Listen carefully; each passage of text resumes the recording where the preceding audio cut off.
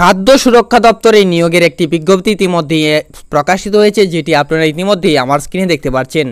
তো ভিডিওটি শুরু করার আগেই সবার কাছেই রাখছি একটি ছোট্ট রিকোয়েস্ট যদি আপনি আমাদের চ্যানেলে নতুন হয়ে থাকেন তাহলে অবশ্যই চ্যানেলটিকে সাবস্ক্রাইব করে নেবেন এবং পাশে থাকা বেল আইকনটিতেও একটি ক্লিক করে নেবেন আমাদের পরবর্তী ভিডিওগুলো পাওয়ার জন্য। তো বিজ্ঞপ্তি কিন্তু ইতিমধ্যেই আপনারা আমার স্ক্রিনে দেখতে পাচ্ছেন। তো এখানে কিন্তু এটাই বলা হয়েছে যে আপনি যদি একজন ভারতীয় নাগরিক হয়ে থাকেন তবেই কিন্তু আপনি এই পদের জন্য আবেদন করতে পারবেন। যদি আপনার সেই এলিজিবিলিটি ক্রাইটেরিয়া থাকে।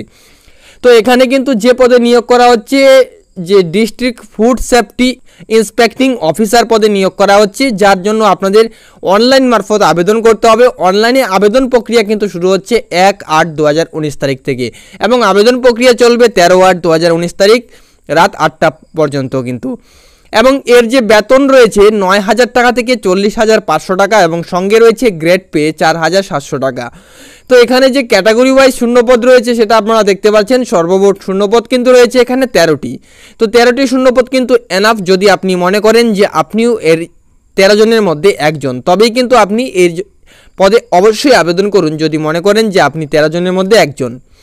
এবং এর শিক্ষাগত যোগ্যতা কি চাওয়া হয়েছে আপনারা দেখতেই পারছেন। তো এখানে কিন্তু বলা হয়েছে আপনাকে অবশ্যই ডিগ্রি হোল্ডার হতে হবে। ফুড টেকনোলজি এবং ডেয়ারি টেকনোলজি এবং বায়োটেকনোলজি এবং অয়েল টেকনোলজি কিংবা এগ্রিকালচার টেকনোলজি কিংবা ভেটেরিনারি সায়েন্স কিংবা বায়োকেমিস্ট্রি কিংবা মাইক্রোবায়োলজি কিংবা মাস্টার ডিগ্রি কিংবা কেমিস্ট্রি কিংবা ডিগ্রি মেডিসিনে কোনো সরকারি স্বীকৃত প্রতিষ্ঠান থেকে।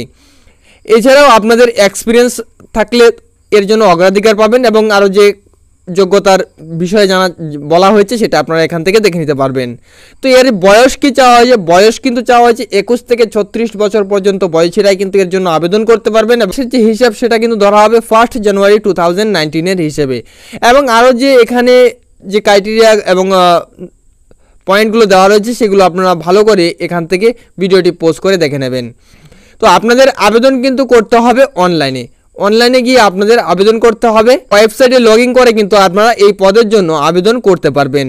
এবং এখানে যে আবেদন করার সময় আপনাদের কি কি প্রয়োজন হবে সেগুলো কিন্তু আপনারা ইতিমধ্যেই আমার স্ক্রিনে দেখতে পাচ্ছেন তো এর যে আবেদনের লাস্ট ডেট জানিয়ে রাখব, তেরো আট দু তারিখ পর্যন্তই কিন্তু আপনারা আবেদন করতে পারবেন।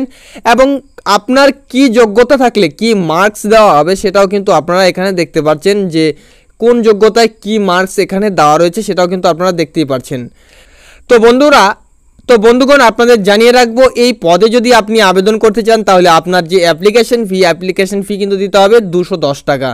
দুশো দশ টাকা কিন্তু আপনাদের এই পদের জন্য অ্যাপ্লিকেশন ফি দিতে হবে, যেটা আপনারা অফিসিয়াল ওয়েবসাইট মারফত পে করতে পারবেন। এই খবরটি আপনাদের আজকে দেওয়ার ছিল। আশা করছি ভিডিওটি ভালো লেগেছে। ভিডিওটি যদি ভালো লেগে থাকে তাহলে অবশ্যই লাইক করে দেবেন এবং শেয়ার করে অন্য কেউ দেখতে সুযোগ করে দেবেন। তার সাথে আপনি যদি আমাদের চ্যানেলে নতুন হয়ে থাকেন তাহলে অবশ্যই সাবস্ক্রাইব করবেন এবং পাশে থাকা বেল আইকনে একটি ক্লিক করে রাখবেন। ধন্যবাদ। প্রথম থেকে শেষ অবধি ভিডিওটির সঙ্গে থাকার জন্য।